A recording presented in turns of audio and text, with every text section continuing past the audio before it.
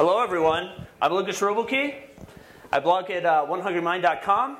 Hey everybody, my name is Matias Niemela. I work on the Angular JS core team and I blog at yearofmoo.com. So welcome to our talk, Awesome Interfaces with Angular JS. Let's get started.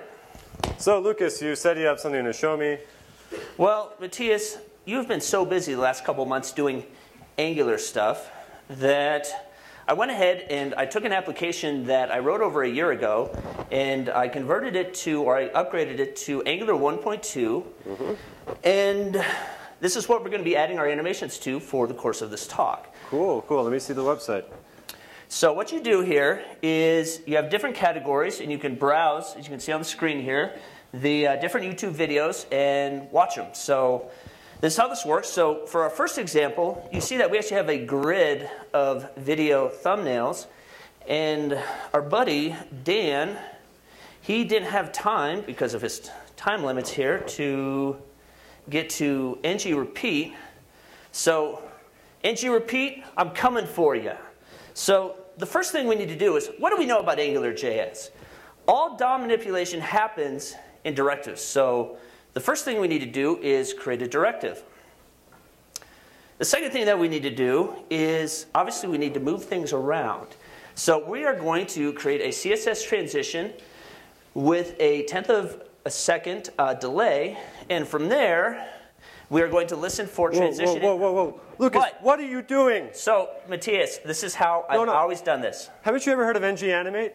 Well, have you read my articles? Have you been to yearofmoo.com? Have you seen anything with ng-animate? I'm going to make a confession. I stopped reading your blog when you stopped putting cute cartoon pictures up. So, well, well, this is not how you do animations. This would have been okay one year ago, you know.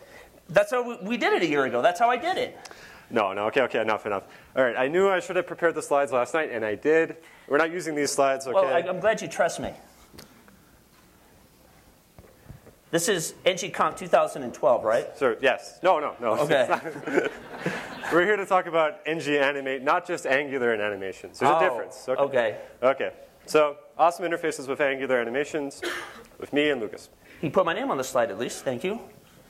Okay, so for the slides for this application, they're available at slides.ngtube.com.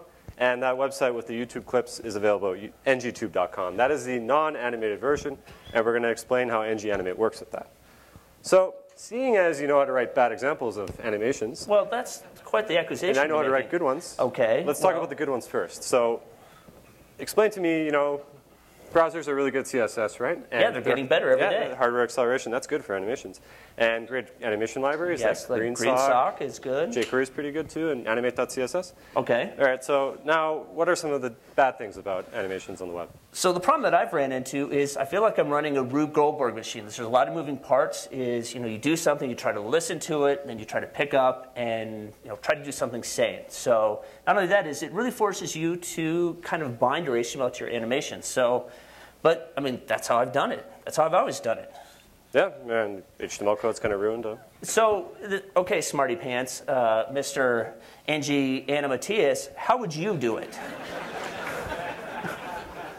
well, I got to get them when I can you know, I got to iterate all the, all, over all the things that are done right. poorly before ng-animate. Insult to injury. Let's go. Okay, right. so you know, back before ng-animate was around, you know, ng class was kind of the best bet for animations, right?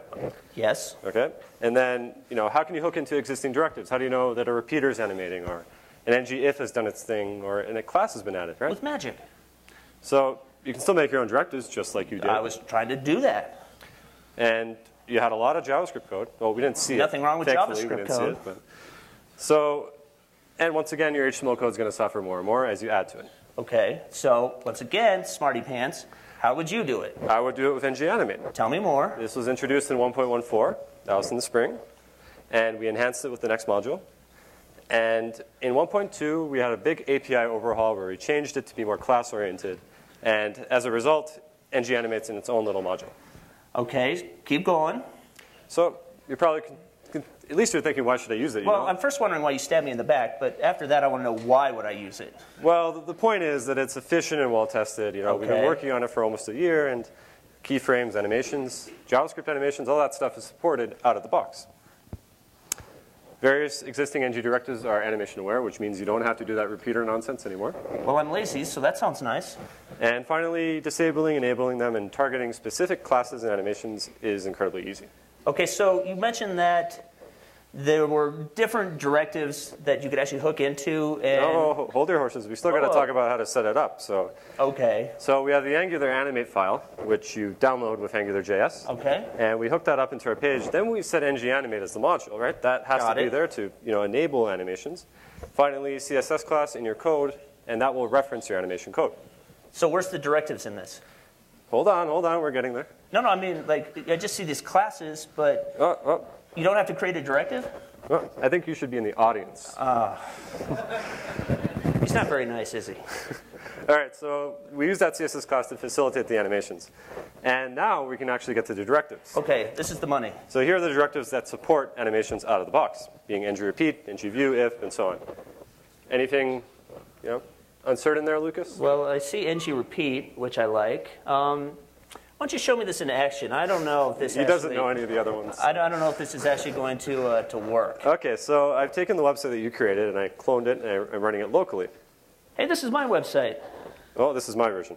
So we see this view element animate in between. You want to see how that's done? Well, what? Let me see it again.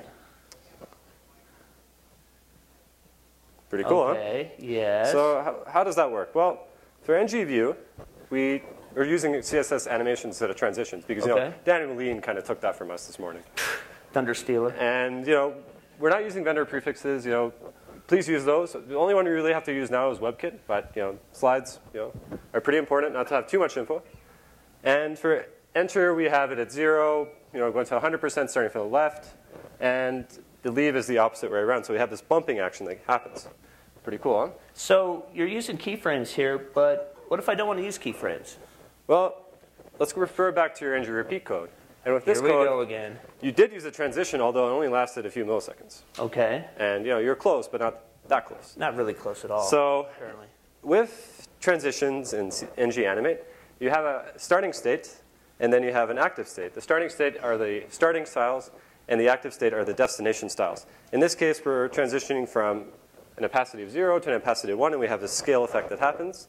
And finally, for the ng leave, we're just hiding the element. So you know, let's look at the actual CSS code for that. It has a little bit more extra code in here just to you know, get the effect to work properly. So once again, we're defining our transition code directly inside of our CSS classes. You can bunch those up together if you want. NGAnimate supports that. But let's see this thing in action. So let's say I search for web development. You can see that everything kind of flashes in. Huh? That's a cool mm-hmm. animation. Let me see it again. Uh huh. Again? Uh, one more time. Okay. There we go. Okay. Okay, so that being transitions, anything else you want to say? how, much CSS was that? How much CSS? A lot of CSS, but Well, no JavaScript though. How much CSS did it take you to do that? Like, You already saw it. Okay, okay. We, we, come on. oh, okay. Anyways, so for animations, Oh, now he's really upping the ante. So we've had keyframes, CSS animations, CSS transitions. Mm-hmm. So that was my next question: is what if you want to do JavaScript? I mean, I come from a Flash background. I love programmatic animation. Is you know what about those guys? Well, you can hook it up with the ngModule.animation. And in here, you will define an animation that references a CSS class. Okay. This one being dot .expand. And we have the enter animation state, and we have the leave animation state. And in this case, we're animating from the left, and we're fading it in, and we're animating out to the left and fading it out. So let's take a look to see what that looks like in our comments section in a video.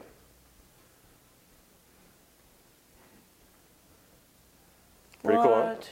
One more time. I know you're trying to kill time with looking at all these demos, but we got to really focus on our So we, application. we sequenced this for 25 minutes, and we found out we had 35 minutes. So we just have to slow the jokes down, apparently. so it looks like you're using jQuery to animate this, but you know what? Like, what if you want to use a different animation library? Like, well, you just got to put it in there, like GreenSock, for example. You'd wrap it with the TweenMax library, put TweenMax. so 2. anything in between these lines here, I can basically put whatever I want in there. All you have to do is call the done method when you're done. Okay, and so what's that for? That's for closing the animation off. So you can actually know when the animation is done. No, you have to know to close it off. So I have to know. Yeah. All right. Anyway, this is going nowhere. Let's continue. You're Okay. going nowhere. So if ng class, ng class, I wanted to bring this up. Go back to transitions for a second because mm-hmm. at first when we built ng animate, we were wondering, you know, we're going to have our own naming structure, and you know, if you're using ng animate, you're using ng animate, and if you're not, you're not using it. But you know, this was kind of complicating things, so we redesigned it right before we released the stable version. And this one works around natural CSS transitions, and it just adds extra CSS classes around it in case you want to style it even further. So it looks like the code on the right here um, is longer. Like, why would you use that? Like, I mean, it's a little bit more code. What's the uh, what's the advantage in that? So the advantage is that let's say that you have a carousel, and the carousel starts on the left, and then it fades in, and then when you want to animate outwards, it goes to the right. But let's say that you're not using leave or move. You would have to specify two separate directions for the animation. That one you can do with the extra CSS classes, whereas if you only had one CSS class, it would be tricky. You'd have to have multiple CSS classes. Okay, so I mean, it looks like this is certainly a lot more self-documenting. Precisely. So it would actually be pretty cool if the AngularJS docs were self-documenting. I am going to actually propose that to Brad after this talk. All right, enough of that, enough of that. Okay, so, you know, aren't you wondering the steps involved or any of that stuff? Well, I, I am now. Okay, so it starts off with scope changing, right? Yep. And the scope triggers the directive in charge, whether it be ng include, ng repeat, show hide, all that stuff. And those directives perform a DOM operation. And that DOM operation goes through the animate service, and when that happens, it looks up the class names involved, right? So if you have, you know, animate, fast, smooth, these CSS classes on your element at the time, it will look for the matching CSS elements in your style sheet as well as in your JavaScript code transitions, CSS animations, keyframes all run at the same time. And then there's two phases to an animation. There's the before phase, meaning that the animations take place before the DOM operation. So example, ng leave, the CSS animation, that happens before the DOM operation, then ng enter would happen after. Finally, the animations are closed, and it awaits further animations. Okay. So before we continue, I just wanted to bring up a few things about CSS transitions and animations. Well, the beauty of ng animate is that every time an animation happens, it checks the element CSS classes to see what to animate. This means that you can put your CSS code inside of a style sheet and have a media query that'll attract those styles properly. And it also means that if you add and remove additional CSS classes, then it won't cache anything in the wrong way, and it'll animate exactly what you expect it to. So this is near and dear to my heart. Tell me more about JS animations. Well, seeing it as you just don't understand CSS, Well, let's just focus on JavaScript for a second. CSS is like drunk driving, so. I mean, this is a little bit more sane, so Okay, so back to the JavaScript example. We have an animation called crazy animation, right? And we have these, this little key value object that's returned, you know, expected to be returned in the animation. What other properties can you put in there? Well, enter, leave, and move. Those, we had enter and leave in our JavaScript animation, but move can be put in as well for a repeater. Add class or remove class, which is triggered right after the class has been added, and before add class and before remove class, prior to the class being added. And finally, an optional method called allow cancel, where you can determine to see if the existing animation that's running should be canceled or not. And if it isn't canceled, then the follow-up animation will not be run. So what if I wanted to use like animations in a directive? Like how would I do that? Like what if I manually wanted to trigger an animation? We use the animate service. So dollar $animate, which is used inside of the ng directives, is the service to use when performing all DOM operations. And if you don't have ng animate inside of your application, animate will still be available, although it won't do any animations. So why would you have it? It's just there, you know, appending to an element. Just to feel good? Yeah, I know you like you know, using as much raw JavaScript code as you can. You know. You better believe it. So uh, I think if we took your directive example a little bit further, we wouldn't be invited here next year. so- Well, yeah, but thanks for saving me from myself. Um, so uh, elaborate on this. Like I'm interested to, to how to s- actually add this animate service into my directive. Okay, so like I said, triggers the animations. And when an animation happens, let's say it's a ng view rendering content into view, all of the child animations, all the directives within are going to be disabled until that view animation is done, which helps speed up things, and you won't have all mm-hmm. these crazy animations flying at the same time. And these are the event methods available on the animate service that you can call. Finally, the last method at the bottom can turn off animations on and on for the entire application. Like give me an example. Well, let's say that users wanted to have on a settings page hide animations. They'll just click that, it's stored into a cookie, and then when the page loads, bootstraps, it would read the cookie and put that on or off. So this actually brings me to an important question, and I'm going off script here, is, I mean, what's the browser support on this? Like, I mean, would you use this to actually, like, oh, well, this browser is not capable, we're just going to turn off the animations? And I would, I would actually prefer to use them because, you know, browsers are getting to the point where, you know, most browsers support CSS the same way, uh, CSS transitions and animations that being. So you really target mobile devices like this. So before we start talking about how to do that, let's talk about some of the other things that happen under the hood with ng-animate. So like I said before, if you have one animation that's running and the follow-up animation comes up, it's going to cancel that animation. And then it skips all the child animations.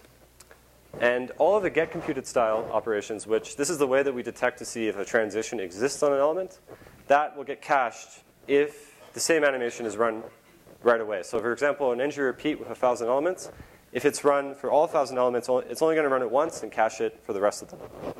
That sounds fast. And finally, with our new system in 1.2, in order to speed up things, it takes all of the animations that are running close to the same time and groups them into one reflow. And a reflow is a repaint. And what that does is once the repaint happens, then the animations kick off. So with, with, the, hold on, hold on. With the new features of ng Animate, I wanted to talk about how to attract specific CSS classes if you want to improve the animations on your website. So with ng Animate, by default, every, every class that's on an element, it checks to see if there's animations associated with it. And while this has been improved, with RC2 to RC3, we sped up ng Animate by 5,000%. 5,000%. Yeah. Wow. But it still can get slow, so therefore we have this feature where you can provide a regex into the animate provider, where you can tell it only animate these CSS classes with this special syntax. So if Great. I wanted to animate, or not animate, all the Lukas classes, I could. Why would you want to do that? I'll keep that in mind for when we yeah, present next. Okay, so another feature that we have are DOM callbacks. And DOM callbacks, these are a brand new feature 1.2.9. When was this released? Yesterday. Oh. so what this allows you to do is when an animation occurs in another directive, so you have a directive on top of the ng repeat, and you want to detect to see when the DOM operation has occurred so you can do some styling, or you want to detect it before, you can tag onto these events that are fired. And the animation details provides the class name and all the other information associated with the animation that took place. Finally, we have staggering animations. What? So Keep going. What if, does this do? If anyone's used Greensock before, stagger is when you have one element that appears after the other element, but there's a little delay in between. So if we go back to our ng2 application. Wait, are you going to show me how this works? Of course. Yes. See here how we have all of these elements right here, but we click and they all show up at the same time. Now, you know, to add an extra effect to our application without having to put a crazy other JavaScript framework in there, we can simply add these classes for a stagger. So just like with ng leave and ng enter, if we have ng enter stagger, ng leave stagger, we can provide a delay, in this case, you know, 100 milliseconds, uh -huh. that will occur between each item getting inserted into the repeater list. Finally, we need to provide a transition duration of zero, just in case accidental CSS inheritance. Because if this wasn't here, everything would stagger. So let's save, and let's see this thing in action. So we didn't see the videos load yet, but watch what happens now. What? All right, so let me see a show of hands. How many people thinks that Matias should actually write a blog post about this? Lukas, I wrote a blog post last month. Where have you been? Yeah, that's, like I said, okay, well, I know what I'm doing after this. Do you want me to embarrass you in front of 700 people again? You've already embarrassed me. Okay. Every time we go out in public. So. All right, so people have paid a lot of money to be here. Like, give me, like, you know, let's give some people the juice. Like, what's coming in 1.3? Like, you know, go to Area 51 and pull something out for us. I don't think Area 51 would qualify because it's an open source project. Well, whatever. So, anyways, you're deferring. Like, I mean, what what can we expect in 1.3? So, the first thing we're going to fix is right now with class-based animations like ng show, ng hide, all that stuff. It there's a little bit of a complication between the way that structural animations are run, enter, leave, move, versus class-based. With class-based, you need to add all the CSS properties, and then once all that has happened, you need to animate it. Whereas right now, we're canceling things when a new CSS class is, is added. But this is a breaking change of 1.2, so this will go into 1.3. That's the primary thing. Okay. The second thing, we might end up changing the JavaScript API. We're not sure yet, but we want to have more flexibility to offer better animations. And then? And then finally, to be honest, like we, let's all collaborate on this. You know, you guys are the ones who are using ngAnimate and AngularJS, so you know, give your ideas. Let's all work together to make a really cool driver for this. So I think the answer is like, what's next in ngAnimate is you tell us. Is that, and I'm going to once again go a little off script here. Is that in terms of Angular as a whole, I've been doing it for a while. Is that the team is incredibly responsive to ideas. So you know, you have Julie up here up front, and she's like, protractor, I accept pull requests, I tutorials, whatever, like hit me. And Matias, same thing, is that you know we've, we've kind of been having a lot of fun here. It's been a little bit irreverent. At the same time, is that if you guys want to see something, or you are using something and it's not quite working right, is you know like we're available to actually address those things and, and factor that in and let you guys drive ngAnimate and where it's going next. So, yep. Anything you want to add to that? No, I'm happy with your that, response that for was, once. That was from my heart. that was that was from my soul. All right. So the links to this article, the awesome.youtube.ngtube.com. Uh, Go to this one, not mine. Is the completed application, the slides, or the slides you're looking at, and that is the GitHub repo for all the code. And we do accept pull request. No, we don't. What? He's embarrassing me in front of my friends again. And here are our contact info. Thank you so much.